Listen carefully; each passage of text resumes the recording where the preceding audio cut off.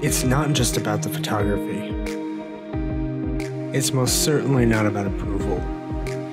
It's not the lights, the cameras. It's not about showing off. It is, though, about the people.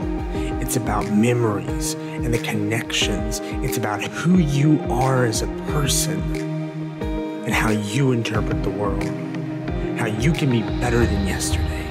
How you can be not settling for just good enough, but you can be great. You can be you. See, media, it impacts, it impresses, and it emphasizes. It changes lives. It makes people smile. It makes them cry. Welcome to James Knox Studio and 1818 Photography.